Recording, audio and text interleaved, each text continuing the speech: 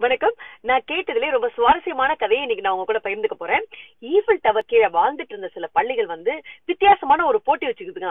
அதுகளுக்குள்ள நம்ம நம்மள யாரு வந்து ஈஃபில் டவர்ல மேல போய் ஃபர்ஸ்ட் தொடுறாங்களோ அவங்க தான் இந்த பந்தயத்துல வெற்றி அடைகிறாங்க அப்படின்னு சொல்லிட்டு அவங்களுக்குள்ள ஒரு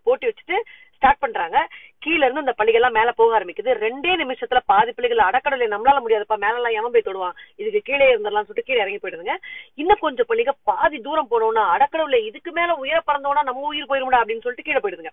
ஆனா ஒரே ஒரு பள்ளி மத்த யார் சொல்றதையும் காதல வாங்காம அது பாட்டுக்கு மேல போயிட்டே இருக்கு. எல்லாம் கத்துதுங்க டேய் மேல போகாதடா தற்கொலைக்கு சமாதானம் தருதுல கீழே வா அப்படின்னு. ஆனா கேட்கவே இல்லை அது பாட்டுக்கு போயிட்டே இருக்கு. கடைசியில பார்த்தா அந்த பள்ளி அந்த குட்டி பள்ளி மேல போய் வந்து உச்சியை தொட்டுருது. எல்லாருக்கும் பயங்கர ஆச்சரியம். இவனால மாத்திரம் எப்படி இது சாத்தியமாச்சுன்னு சொல்லிட்டு. அப்போ அவங்க அண்ணன் பள்ளி சொல்லிச்சான் என் தம்பிக்கு காது கேட்காது நீங்க சொன்ன எதுவுமே அவன் காதுல விழவே இல்லைன்னு சொல்லிட்டு. இப்படிதாங்க நம்ம வாழ்க்கையில பல சமயம் ஒரு இலக்கை நிர்ணயிச்சு நம்ம பயணிப்போம். நம்மளை சுத்தி இருக்கிறவங்க எதிர்மறையான கருத்துக்களையோ இல்ல மோசமான கருத்துக்களையோ சொல்லிட்டா உடனே அதை கைவிட்டுட்டு நம்ம முடங்கி போயிடுறோம்.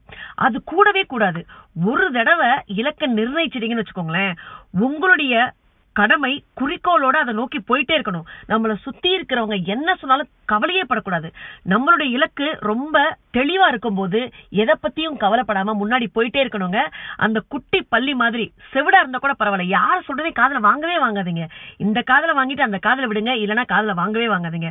உங்களுடைய இலக்கை நோக்கி துணிஞ்சு பயணம் பண்ணீங்கன்னா வெற்றி நிச்சயம். வாழ்க்கை வாழ்வதற்கே வாழ்ந்துதான் பார்ப்போமே.